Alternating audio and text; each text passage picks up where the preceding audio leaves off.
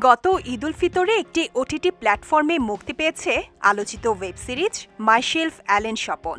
সিরিজটির মূল প্রাণ গুণী অভিনেতা নাসিরুদ্দিন খান হলেও তার স্ত্রীর চরিত্রে অভিনয় করে বেশ প্রশংসা পাচ্ছেন দুই বাংলায় সমান জনপ্রিয় অভিনেত্রী রাফিয়াত রশিদ মিথিলা।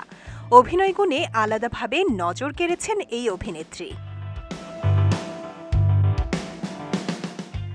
শিহাব শাহিনের পরিচালনায় এই ওয়েব সিরিজটি এরই মধ্যে দর্শক মহলে দারুণ সাড়া ফেলেছে।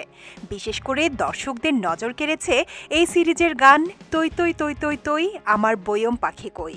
বর্তমানে সোশ্যাল মিডিয়ায় কান পাতলেই শোনা যাচ্ছে এই গানটি।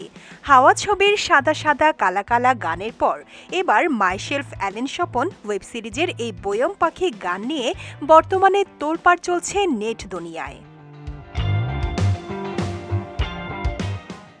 চট্টগ্রামের আঞ্চলিক ভাষায় গাওয়া ভিন্নধর্মী এই গানটি নিয়ে সোশ্যাল মিডিয়ায় রীতিমতো হুলস্থুল পড়ে গেছে।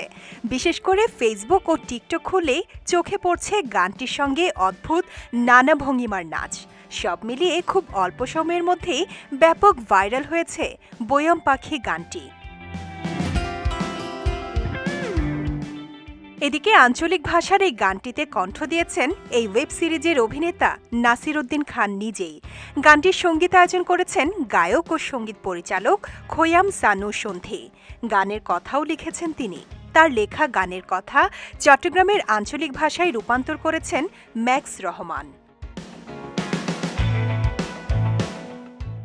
যে পাখি নিয়ে এত মাতামাতি, সে বয়াম পাখির অস্তিত্ব কি সত্যি আছে?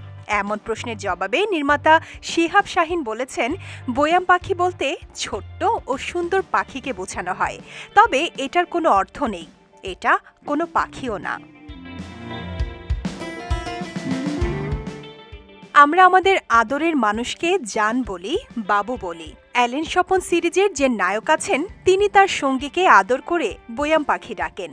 সেখান থেকে শব্দটা নিয়ে আমরা একটি নতুন গান বানিয়েছি। সেটা অ্যালেন স্বপনেরই গান।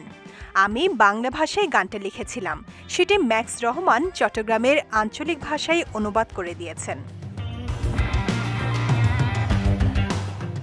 এদিকে ইউটিউবে বয়াম পাখির লিরিক্যাল ভিডিও প্রকাশিত হয়েছে গত একুশে এপ্রিল। বিশ দিন না পেরোতে গানটির ভিউ সংখ্যা চার কোটি পঁয়ত্রিশ লাখ ছাড়িয়েছে। তবে মজার বিষয় হলো, গানটিতে একটিও ডিসলাইক পড়েনি। পাশাপাশি গানটি ভাসছে প্রশংসাসূচক নানা মন্তব্যে। সব মিলিয়ে দেশের ইতিহাসে প্রথম স্পিন অফ সিরিজ হিসেবে দারুণ পদক্ষেপ মাইশেলফ অ্যালেন স্বপন। মানের বিচারে যা পেছনে ফেলেছে তার পূর্বসরী ওয়েব সিরিজ সিন্ডিকেটকেও।